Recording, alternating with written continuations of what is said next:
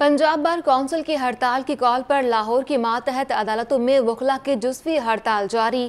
راول پنڈی میں سول جج کے تحریری حکم نامے کے خلاف پنجاب بار کونسل نے ہڑتال کی کال دی۔ اسی پر مزید جان لیتے ہیں نمائندہ لاہور نیوز ارشد علی سے۔ ارشد علی، بتائیے گا۔ ہڑتال کی کال پر جو ہے وہ لاہور سمیت پنجاب بھر کے وکلا کا جو ہے وہ عدالتوں میں جزوی ہڑتال جاری ہے۔ وکلا جو ہے وہ ہڑتال کے باعث عدالتوں میں پیش نہیں ہو رہے۔ تاہم جو ہے وہ اہم کیسز کی جو سماعت ہے وہ ججی صاحبان اپنے چیمبرز میں کر رہے ہیں۔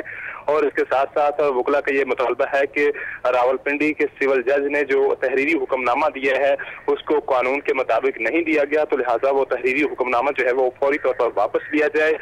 وکلا جو ہے وہ آج سراپا احتجاج ہیں۔ تاہم سائلین کو بھی شدید مشکلات کا سامنا ہے اور سول اور اس کے ساتھ ساتھ فوجداری مقدمات میں شہادتیں آج قلم بند نہیں ہو رہی اور سائلین کو آج تاریخ تاریخیں دی جا رہی ہیں۔ بغیر کاروی جو ہے وہ کیسز کی سماعت ملتوی کی جا رہی ہے۔ جی۔ ارشد یہ بھی بتائے گا کب تک یہ ہڑتال جاری رہے گی؟ کوئی اعلان کیا گیا ہے وکلا کی جانب سے؟